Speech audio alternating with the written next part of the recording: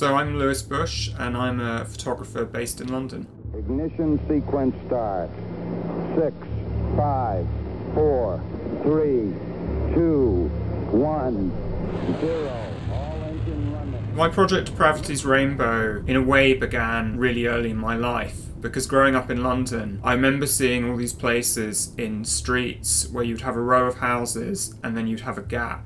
But what I didn't realise at the time was a lot of those gaps were left over from one particular part of the war, which was this campaign of rocket attacks on London. Later, I became more and more interested in the way that after the war, these rockets then went on to kind of shape space exploration in a very profound way because this rocket, the V 2, was the most kind of high tech technology in 1945. And so, of course, the winners of the war then fought for this technology. That's most like evidence in the United States, where the man who was really responsible for designing these rockets, Wernher von Braun, then became a very important figure at NASA.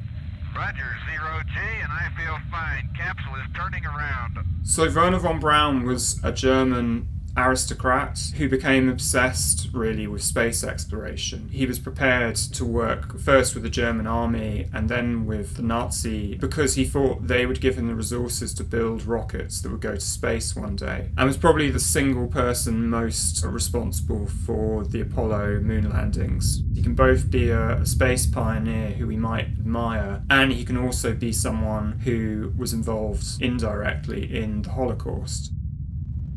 The title, uh, Depravity's Rainbow, is a reference to Thomas Pynchon's novel uh, Gravity's Rainbow, which refers to the arc of a rocket. You know, a rocket flies in a rainbow from takeoff to landing.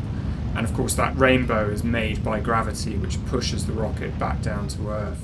So, one of the points the project is trying to make is that we can't celebrate present day achievements without acknowledging those were only possible because the technologies that made them happen were built on technologies that emerged out of events like the war.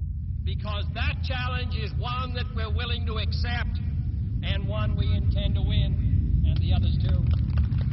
As we all know, I think the moon landings weren't about science, they were about politics, they were about competition. And so, in a way, the project became about exploring how politics and technology are very interlinked so I kind of trace this history back from the Cold War back to Nazi Germany, where again they're often quite clear in the V2 project. Um, that is a project that was very much influenced by politics and ideology.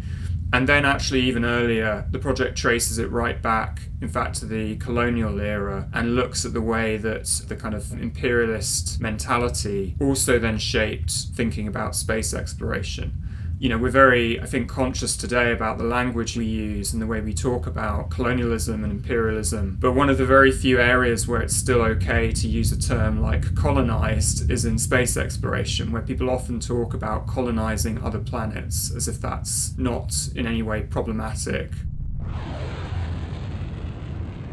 There are two sets of archive imagery. One of those is imagery from the V2 project, so from about 1912 to 1945.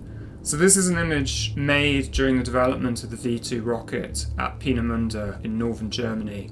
The Nazis were putting so many resources towards the V2 because they hoped that it would change the direction of the war. The technology in terms of things like electronics and guidance didn't really exist, so they were having to invent things. You know, they launched hundreds of these rockets. Lots of them, the vast majority of them went wrong.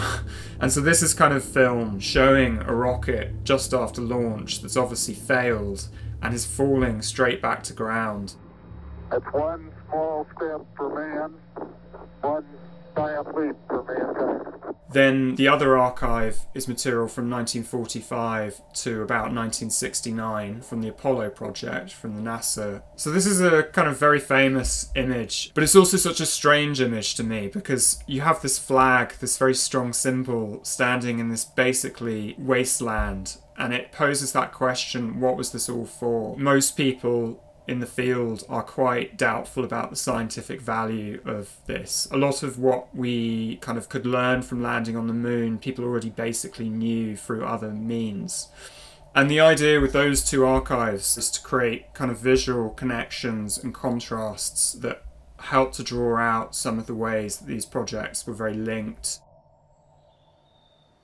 And then alongside those two archives, there are these blue images, which are more recognizable as cyanotypes. And these are uh, contemporary images that I've photographed from locations across Europe that were key in one way or another to the V2 project. The first one is in France, in fact, and it's a huge underground bunker that was built by the Nazis. And the plan was that they would bring the parts to build the rockets by train. They'd put the rockets together and then they'd fire them continuously out at London.